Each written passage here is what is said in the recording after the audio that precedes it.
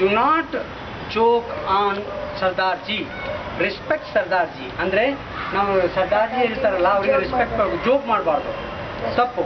ಯಾಕಂದರೆ ಬೇರೆಯವ್ರ ಬಗ್ಗೆ ಜೋಕ್ ಮಾಡೋದು ತಪ್ಪು. ಅಂತ. ಹಾಂ. ಹಾಂ. ಭಾಳ should not joke on any ಬ anybody especially Sardar ji you should not joke okay all right ಬರ್ರಿ